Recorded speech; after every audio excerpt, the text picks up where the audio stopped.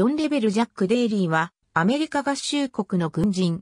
アメリカ海兵隊に所属し、1990年から1992年にかけて海兵隊総司令官補や参謀長を務めた。軍人としての最終階級は大将。彼は36年間の海兵隊生活の多くを作戦参謀として過ごしたが、当初はパイロットとして勤務していた。また海兵隊システムコマンドや軍幕僚学校などでの勤務経験もある。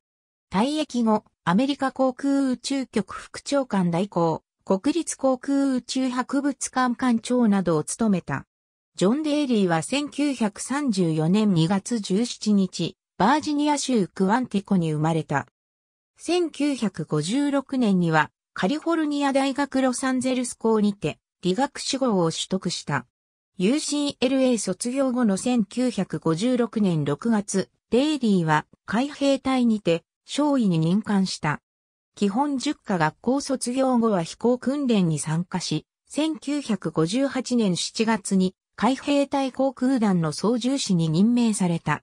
その後は戦闘機、軽攻撃機、偵察機、電子戦機、輸送機、ヘリコプターなど各種の航空機に操縦士として登場し、作戦中の飛行時間は7000時間以上とされる。1972年、デイリーは北、ベトナムで活動する第一海兵合同偵察中隊及び輸送任務部隊の指揮官となる。ベトナムには2度派遣され、450回の飛行任務を遂行した。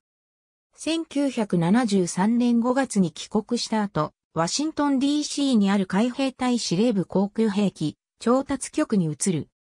同年中、彼は国防大学に入学し、卒業後は海兵隊司令部航空機設計、計画局に配置される。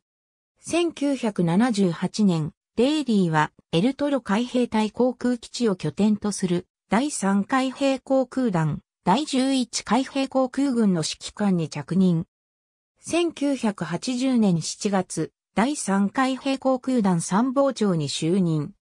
1981年7月、海兵隊司令部に戻り、航空機設計、計画、予算、統合ドクトリン局の局長に就任。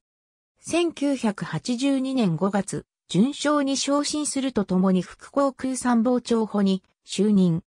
1985年5月、ハワイカネオヘワン基地に駐屯する第一海兵水陸両用旅団の指揮官に就任。1986年6月12日、少将に昇進するとともに、ノースカロライナ州チェリーポイント海兵隊航空基地を拠点とする大西洋艦隊海兵軍第二海兵航空団の指揮官に就任。1987年7月30日からはバージニア州ノーフォークの軍爆寮学校に校長として勤務する。1989年8月21日、ワシントン DC にある海兵隊研究、開発、調達司令部の司令官となり、同年11月24日には中将に昇進した。1990年8月1日、大将に昇進するとともに、海兵隊総司令官補に就任。バズ・ライトイヤーのフィギュアを受け取るデイリー。このフィギュアは実際に宇宙空間で15ヶ月間を過ごし、国立航空宇宙博物館に展示品として寄贈された。左は映画監督、ラセター、中央は NASA 副長官、ガーバー海兵隊を退役したデイリーは、1992年から1999年までアメリカ航空宇宙局にて副長官代行を務めた。NASA 勤務中のデイリーは予算の大幅な削減を受けた組織の改革活動を主導していた。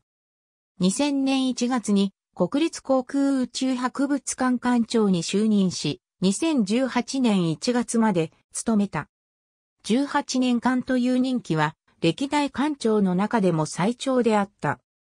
2017年12月に退任が発表された際、全米飛行家協会から2017年ドライト兄弟記念賞が贈られている。2000年12月15日、V-22 計画検討委員会というブルーリボン委員会の委員長に就任した。この委員会は V-22 オスプレイにおける事故の発生を背景として、その計画を継続すべきか否かについて検討した。ありがとうございます。